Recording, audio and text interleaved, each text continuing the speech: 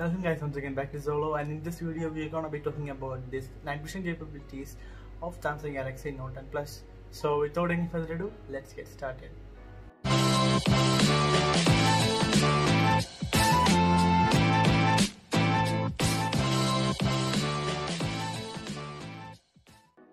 The Samsung Galaxy Note 10 Plus has a TOF sensor that projects UV light to sense and perceive the depth of an object relative to its background.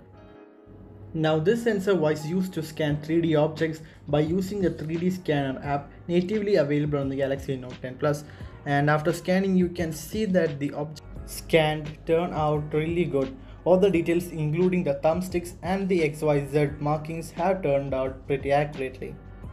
Now XD developers has developed an app which takes advantage of this feature and enables your phone to see in the dark.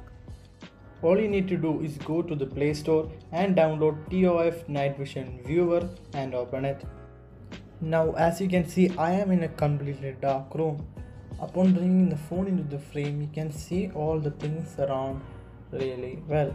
You can see the laptop, you can see that both the speakers and you can also see the mice.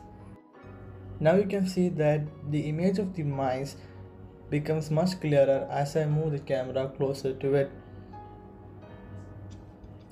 There's my tripod which also seems to be very detailed in the image quality. Thank you guys for watching and I hope that you liked the video and if you liked it please don't forget to subscribe and turn the notification bell so you'll be notified of all my videos. So thank you guys for watching. This is Abhishek from Zolo and I'm signing off.